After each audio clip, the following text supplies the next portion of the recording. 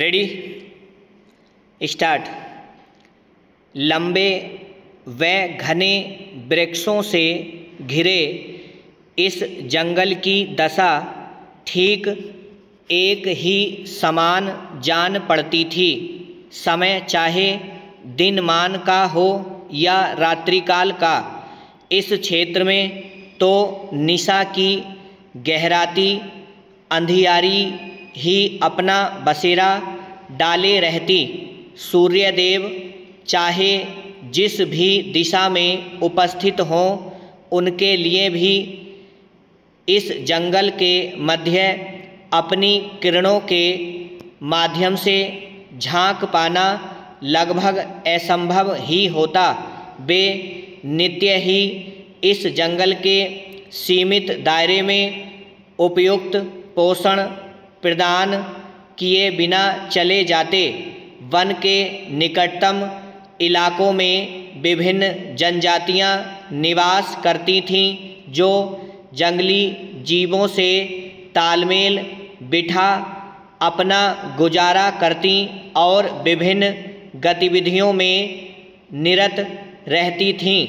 धार्मिक आयोजनों की कड़ी में आज कुछ गृहस्थ भक्तों द्वारा अपने सामूहिक अनुष्ठान की समाप्ति पर साधुओं, ब्राह्मणों हेतु विशाल भोज का आयोजन किया गया था, जिसमें कि सुदूरवर्ती क्षेत्रों से सिद्ध महापुरुषों, तपस्वियों और सादर आमंत्रण के साथ ही उन सभी से अपना विशेष आशीष प्रदान, करने एवं प्रसाद, ग्रहण करने हेतु विनम्र आग्रह भी किया गया था।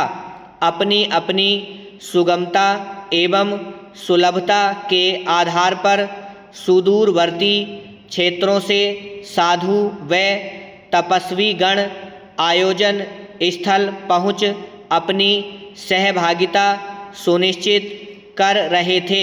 तो वहीं सिद्ध गुरु गोरखनाथ भी विशेष आमंत्रण पर इस पावन आयोजन की सफलता में अपनी शुभकामनाएँ प्रदान करने के उद्देश्य से अपने एक शिष्य संघ आयोजन स्थल की ओर निकले।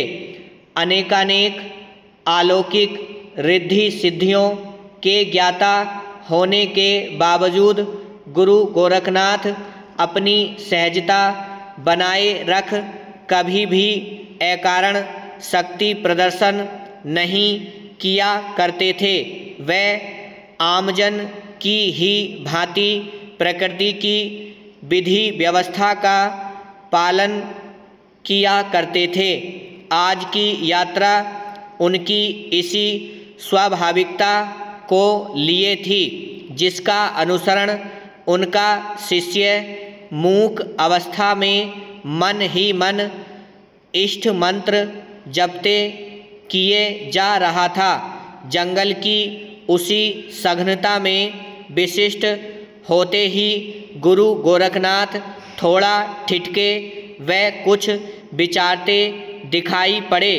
शिष्य भी दिशा की अस्पष्टता के प्रति संदेह प्रकट करते हुए गुरु से निवेदन स्वरूप कहने लगा, गुरुदेव, संभवतः हम मार्ग से भटक गए हैं। गुरु गोरखनाथ शिष्य को गंभीरतापूर्वक देखते हुए बोले, नहीं वत्स, मेरे समझ, समक्ष मार्ग व प्रयोजन दोनों ही स्पष्ट हैं। यह कहते हुए गुरु गोरखनाथ ने नेत्र मूंद लिए।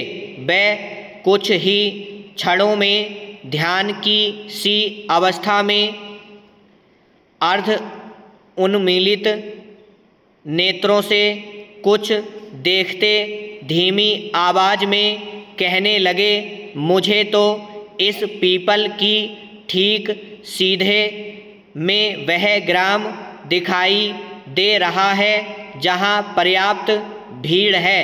वह आयोजन के मध्य साधुओं समेत कई ग्रामवासियों की चहलकदमी भी सुनाई पड़ती है।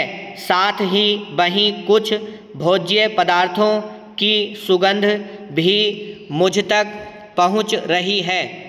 ब्रह्म